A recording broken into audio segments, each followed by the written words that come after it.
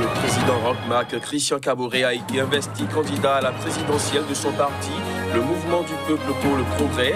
Il brigue désormais officiellement un deuxième mandat. Au Mali, le président Ibrahim Boubacar Keïta a condamné les troubles quasiment insurrectionnels enregistrés à Bamako vendredi. Il a annoncé l'abrogation des décrets de nomination des juges de la Cour constitutionnelle. Et au Malawi, le nouveau président Lazarus Chakwera a défendu le mérite des ministres nommés dans son premier gouvernement. Ils sont en effet sévèrement critiqués pour leurs liens familiaux et leur proximité. Voilà pour les titres. Euh, bonsoir à tous. Au Burkina Faso, le président Rochmark Christian Caboret a été investi hier samedi candidat à l'élection présidentielle de novembre prochain par son parti, le Mouvement du Peuple pour le Progrès.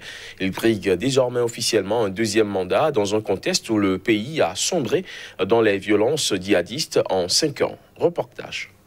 C'est sous les acclamations de 5000 militants rassemblés au Palais des Sports de Ouaga 2000 à Ouagadougou que le congrès extraordinaire du mouvement du peuple pour le progrès a solennellement investi le président Rochmark Christian Caboret comme son candidat à l'élection présidentielle. Absent lors de ce rassemblement, c'est à l'envoyé spécial du chef de l'État, Siméon Sawadogo, qu'est revenue la mission d'accueillir cette décision de la formation politique. Tout en vous remerciant pour le choix de ma personne pour tenir ce flambeau, c'est un devoir patriotique pour moi de répondre. C'est un devoir patriotique pour moi de répondre c'est un devoir patriotique pour moi de répondre oui. Selon le test de synthèse du congrès d'investiture, lu après plusieurs heures de travaux à huis clos, les délégués du MPP ont salué les résultats probants et les progrès au plan social, politique et économique sous le quinquennat du président Caboret. Un bilan qui stimule leur assurance d'une éclatante victoire comme en 2015. Votre grande mobilisation augure d'une victoire éclatante par un coup chaos incontestable de notre candidat, le camarade Roch Christian Caboret à la présidentielle. Elle préfigure aussi un vote massif des électeurs en faveur de la liste du parti et subséquemment de celle de nos alliés au scrutin législatif pour lui accorder une majorité absolue, claire et consistante au Parlement. Cette candidature de Rochmac Christian Caboret a également reçu le soutien des partis de l'Alliance de la majorité présidentielle, un regroupement d'une quarantaine de partis politiques.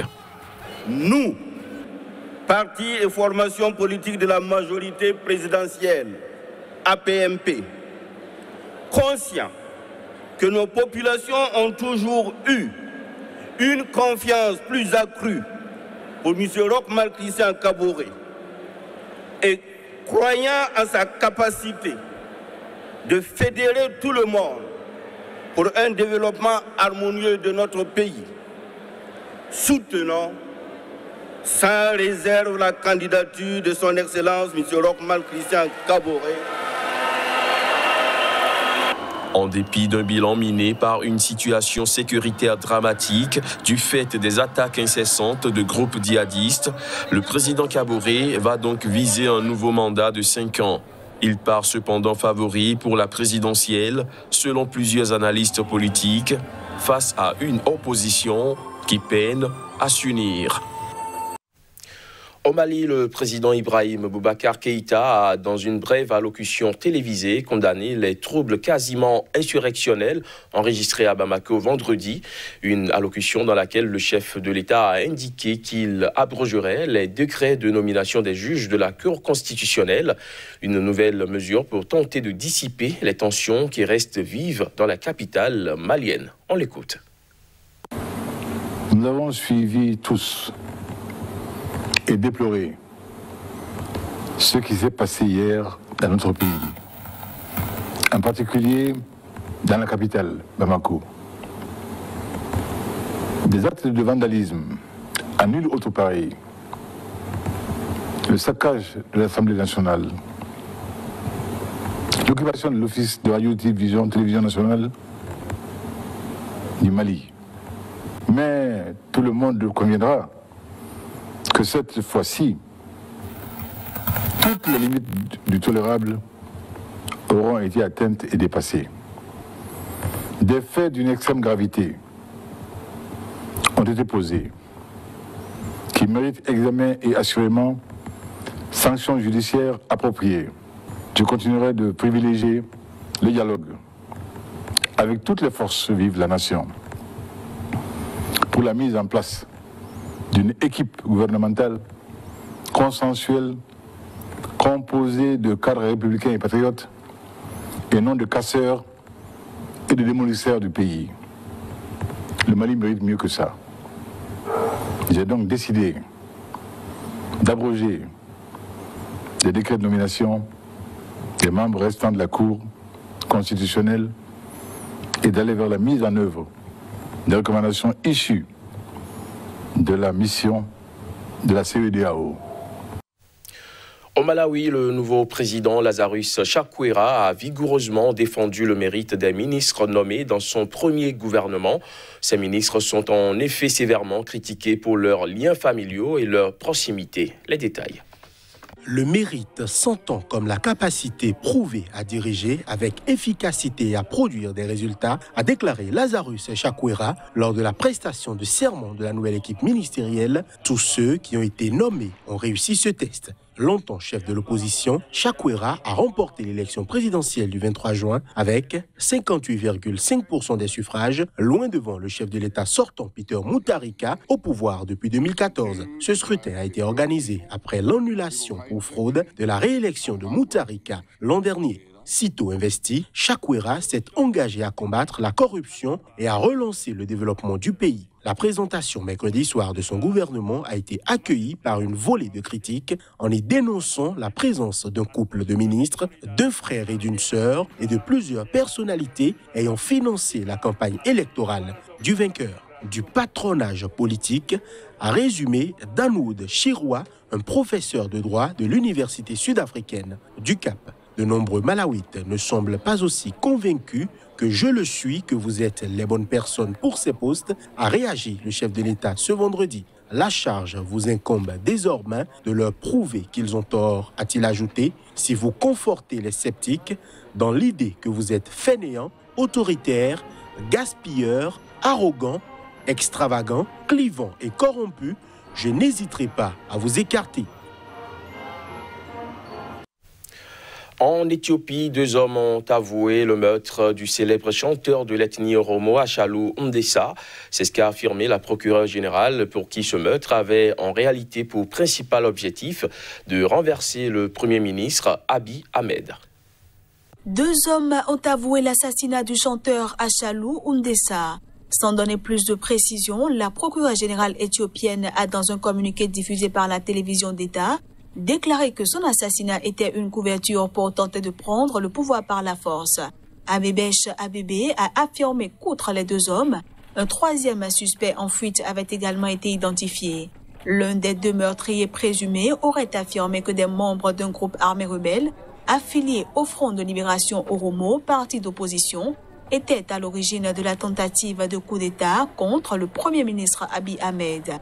Mais l'OLF, ancien mouvement rebelle en exil revenu en Éthiopie au moment de l'arrivée au pouvoir d'Abiy Ahmed, a depuis démenti tout lien avec des groupes rebelles armés. Chanteur populaire et porte-drapeau de l'ethnie Oromo, la plus importante du pays et dont est également issu le Premier ministre, Achalou Undessa a été tué le 29 juin dernier par des inconnus à Addis Abeba. Son meurtre avait aussitôt déclenché pendant plusieurs jours la pire flambée de violence depuis l'arrivée d'Abiy Ahmed au pouvoir en 2018, faisant plus de 200 morts. Mais selon la procureure, ceux qui se cachent en lieu sûr appellent la jeunesse éthiopienne à se battre, à couper les routes et à cesser le travail en vue de renverser le pouvoir.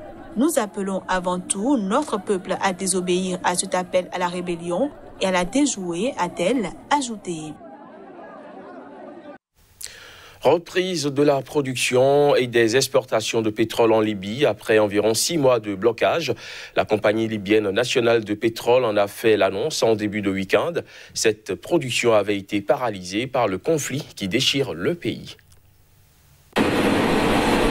La Libye, qui dispose des réserves les plus abondantes d'Afrique de pétrole, est déchirée par un long conflit entre pouvoirs rivaux avec le gouvernement d'union nationale basé à Tripoli d'un côté et le maréchal Khalifa Haftar qui règne sur l'est et une partie du sud de l'autre des groupes loyaux au maréchal Haftar qui menaient une offensive contre la capitale libyenne bloquaient depuis le 17 janvier la production et les exportations du pétrole sur les champs et terminaux les plus importants du pays pour réclamer, selon eux, une répartition équitable des revenus du pétrole géré par Tripoli. Un premier navire devait commencer à charger le brut du port pétrolier Al-Cedra dans l'est du pays, d'après la compagnie libyenne nationale de pétrole.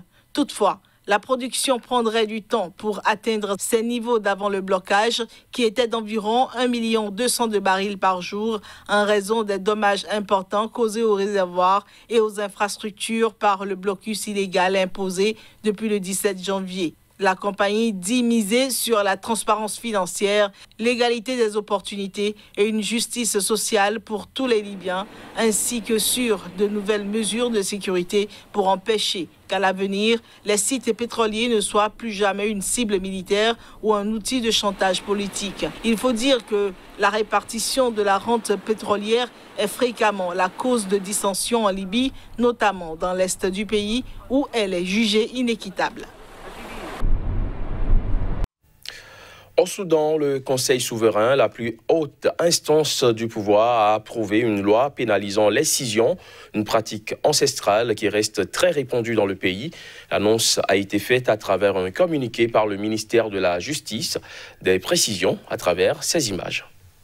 Le Conseil souverain formé de civils dont des femmes et de militaires a approuvé ce vendredi une série de lois dont celle criminalisant l'excision, une pratique qui porte atteinte à la dignité de la femme.